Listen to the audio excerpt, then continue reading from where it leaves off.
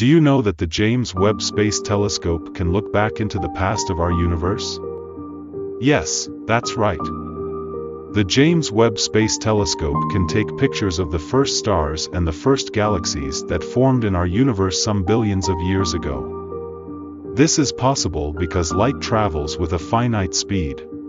Let me explain that to you. Scientists agree that the universe was created in a Big Bang, some 14 and a half billion years ago.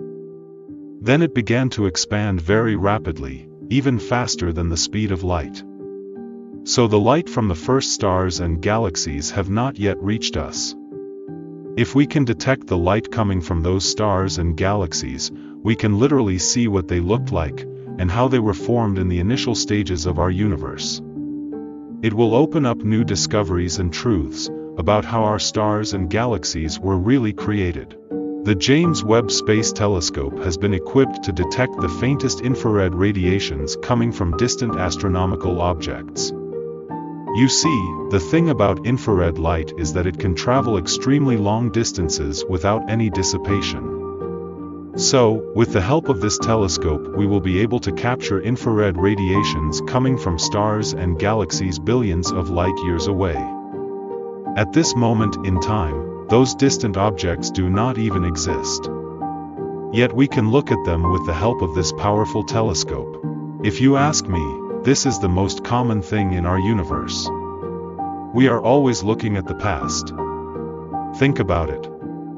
Visible light from an object takes an amount of time before it reaches your eyes. So, you can never really see an object in its present form. What you are looking at is a past form of the object. For example, light takes about 8 minutes to reach Earth from the Sun. So when we are looking at the Sun, we are looking 8 minutes back into the past. When you look at the night sky, you see thousands of stars. But do you know that what you are looking at is only a past image of those stars? Sometimes light takes some millions of years to reach our Earth from those stars.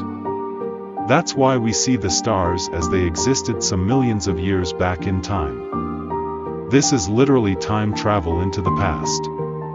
Yet we don't realize this amazing phenomenon. This is the mechanism by which the James Webb Space Telescope will be able to see billions of years back in time. If you enjoyed the video, don't forget to like and subscribe to our channel for more amazing stuff. Thanks for watching.